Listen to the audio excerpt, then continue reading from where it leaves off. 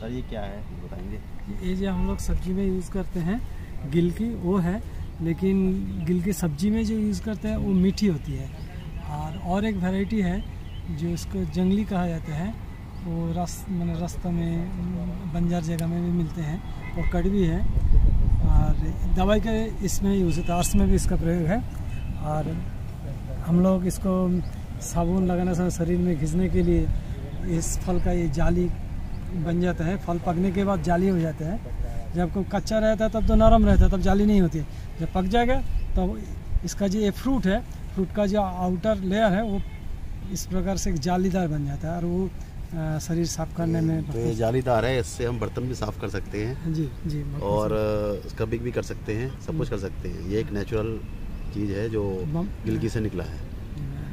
बमन करा द्रव्य में भी चरक मिलेगा इसका।